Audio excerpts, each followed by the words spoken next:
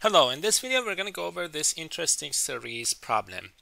Let S be the set of all positive integers that have no digit 7 when written in base 10. Prove that the following series converges. It's the sum of the reciprocals of all of these numbers.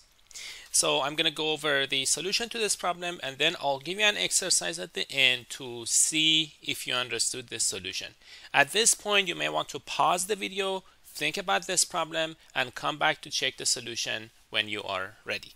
So let's write down the first few terms and let's try to approximate the terms of this uh, series and then let's see if we can show that it is in fact bounded which means it would be convergent. So the series would involve a bunch of terms with one digit so 1 over 1 all the way to 1 over 6 then plus 1 over 8 1 over 9 so these are eight numbers, all of them are going to be less than 1. If you look at the, the, sum of the numbers that are two digits, we start from 1 over 10, 1 over 11, and we get to 1 over 99. So those are, all of them are less than 1 over 10. How many of these do we have? We have two digits A and B.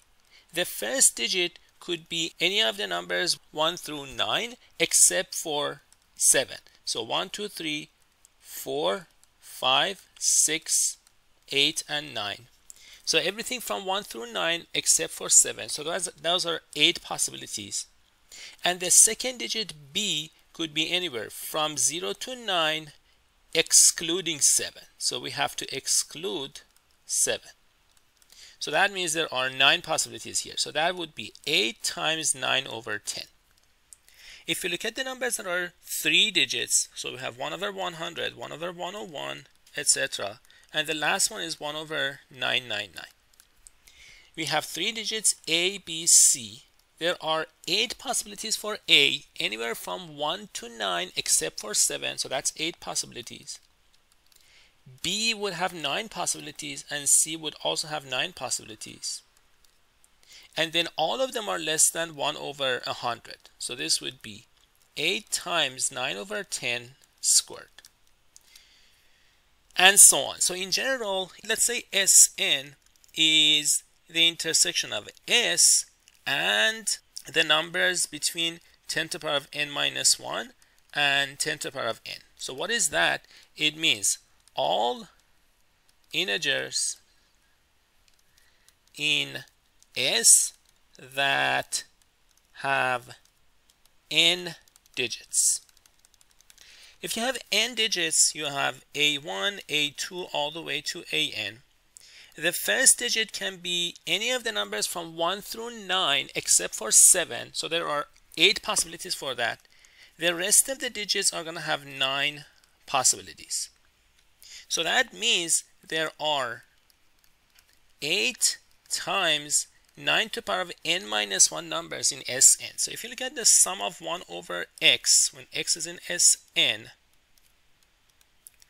this is going to be less than or equal to 8 times 9 to the power of n minus 1. That's how many elements we have in this set. And the largest element in that set is 1 over 10 to the power of n minus 1 because that's the first integer with n digits.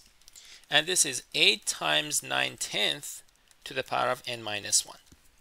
Now if you look at the sum of 1 over x when x is in S, this would be less than or equal to the sum of 8 times 9 over 10 to the power of n minus 1, n ranges from 1 to infinity because the sum of the reciprocals of elements in Sn is less than 8 times 9 over 10 to the power of n minus 1 and n would be the number of digits so it could range from 1 to infinity. Now the nice thing about this is that this is a geometric sum. Common ratio is 9 tenths. So the sum would be the first term which is 8 divided by 1 minus common ratio. And if you evaluate this, this is going to be 80. So we just showed that the sum of the reciprocals is less than or equal to 80. Now note that all of these uh, terms of this series 1 over x, they are all positive, which means being bounded is the same as being convergent. So therefore, the sum of 1 over x when x is in S converges.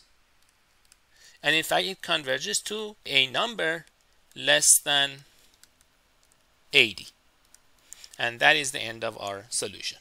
Now, I would suggest that you work on this problem, which is something similar to the problem that we discussed, except that it's asking us to find all p for which the sum of 1 over n to the p when n is in S and S is the exact same set that we just talked about converges. So for what values of constant p does this series converge and for what values does this series diverge?